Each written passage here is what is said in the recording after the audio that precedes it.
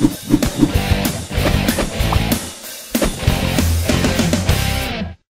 É, o do Rio, na realidade, ele também aproveitou a oportunidade de ter pego os jogadores ali quase alinhados pelo cinema, conseguindo a eliminação com mais tranquilidade em cima dos jogadores da equipe adversária.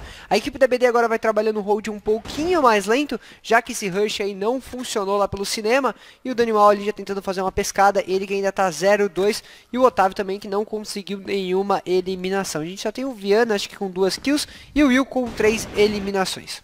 E os jogadores começam a rodar um pouquinho. A equipe da Black Dragons conseguiu fazer o primeiro round, mas acabou tomando o segundo round com um belíssimo 4K do menino do Rio.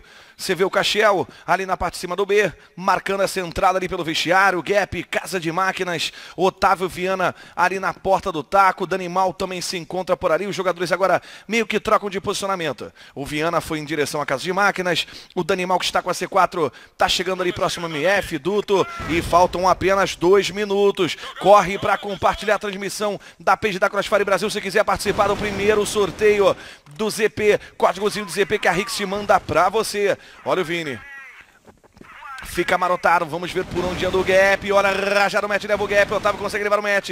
O Vini ainda tá marotado. O Caxiel consegue levar o Will. O Otávio garantiu um double que levando o Caxiel 3x3. Eles já estão com o bombe B dominado. O backup vem chegando. Quem vai chegando, puxando o bonde primeiro é o Dum Rio. Dum Rio é o primeiro que vai dar cara, mas o Angry já passou direto. A Ingrid consegue levar o Otávio. O Danimal ali no cantinho. Vini já levou o Danimal. Viana tá sozinho. Vai tentar marotar porque ele tá contra 3. A C4 vai sendo defusada. Ele rádio primeiro. Vai levar o Angry double kill. Ele já viu um do Rio, tirou a cara, vai preparar o reload. Ele segura ali atrás, viu do Rio no bombe, triple kill do Viana. É highlight para a equipe da Black Dragons. Passa à frente, que jogada, Lore.